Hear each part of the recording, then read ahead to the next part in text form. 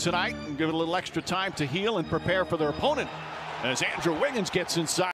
And Bazemore from the elbow jumper way off. Looney has to throw it up and then hit the rim and it goes